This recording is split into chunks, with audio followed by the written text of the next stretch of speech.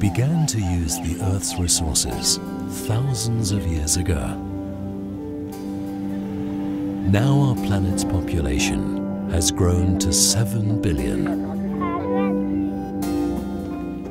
Land and water are increasingly scarce. Shortage of water, pressure on fertile lands for cultivation and grazing, and demand for firewood. These are just some of the challenges faced by rural people worldwide. Desertification affects one and a half billion people. Climate change and extreme weather events degrade our environment and lead to human disasters and poverty. However, it's not only the climate that creates drought and floods. Disasters are also triggered by people not managing their lands well. Yet around the globe we encounter innovative farmers who develop climate-smart land management practices. The Tajik fruit farmer Iskandar Mizoev created an island a small paradise in a badly degraded environment and manages to cope with dry years. If there's a lot of sun in spring, for instance one month of hot and dry weather, trees will drop flowers and not produce a lot of fruit. So I told my son to do two to three different grafts on the same tree. If one variety doesn't produce, the other one will. This and this are completely different. In the name of God, we have four different kinds of pears here. This is my own research station. Iskandar also protects his lands from heavy storms. On the other side of the valley, trees are planted far away from each other, so the soil falls apart. On our side, tree roots are closer to each other, so they hold the soil. We've planted trees to stop erosion and fill up the gully, and for firewood. This is what prevents soil erosion and flooding. In drylands, the maintenance of good vegetation cover is crucial. This is a particular challenge in areas where energy resources are scarce. Where firewood is used for cooking and heating, trees and bushes are disappearing. In Tajikistan, Momahol Alikhanova installed an energy-saving stove to reduce pressure on resources. Before we cooked our food with three to four dung cakes. Now we use only one to one and a half and can use the rest as organic fertilizer.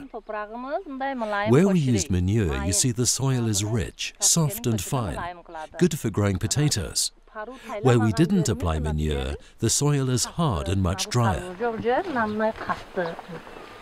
Here the soil is hard and clumpy. You can't get yield from this. Another land use challenge is grazing. Worldwide, overgrazing accounts for 43% of degraded land.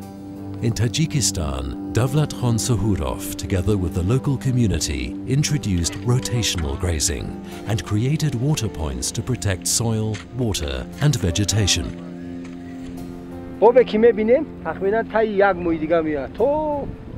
The water we see over there will flow for another month and then the springs will dry up. The creek will dry up. That's why we needed water points. The pasture land you see over there has been affected by erosion. We would like to improve it. One way is not to graze animals on that pasture so that grass and shrubs will start growing. This will reduce erosion. Due to rotational grazing, we have healthier and more animals, so we can sell them and use the money for the household. In Kenya, where Joseph Maina Karania lives, water is scarce. However, Joseph is getting a good yield by covering the soil with mulch. We don't get enough rain, so the little rain we have, we must use them nicely so that we can get enough food so we can help our children.